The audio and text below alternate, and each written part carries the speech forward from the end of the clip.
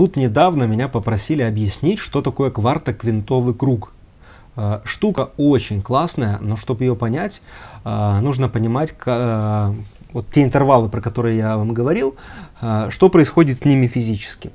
Дело в том, что есть такое замечательное понятие, как обращаемость аккорда. Вот это явление в музыке, оно как раз и легло в основу построения квартоквинтовых кругов, благодаря которым можно подбирать вообще классные гармонии и придумывать ну, мелодии, аккомпанементы и так далее. Смотрите, возьмем самый простой аккорд до мажор. До, ми, соль, три ноты.